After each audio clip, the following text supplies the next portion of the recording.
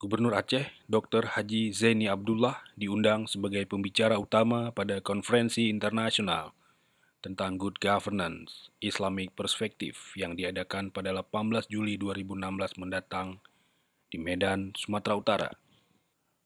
Hal tersebut disampaikan oleh pimpinan umum Harian Waspada Hajah Rayati Syafrin saat melakukan pertemuan bersama Gubernur Aceh Zaini Abdullah di Pendopo Gubernur.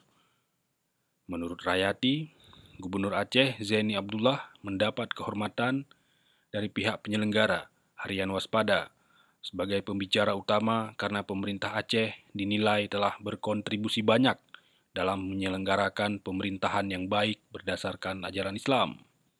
Selain Gubernur Aceh, mantan Perdana Menteri Malaysia Dr. Mahathir Muhammad juga dipastikan akan hadir sebagai pembicara bersama Profesor Dr. Lutfi dari Thailand.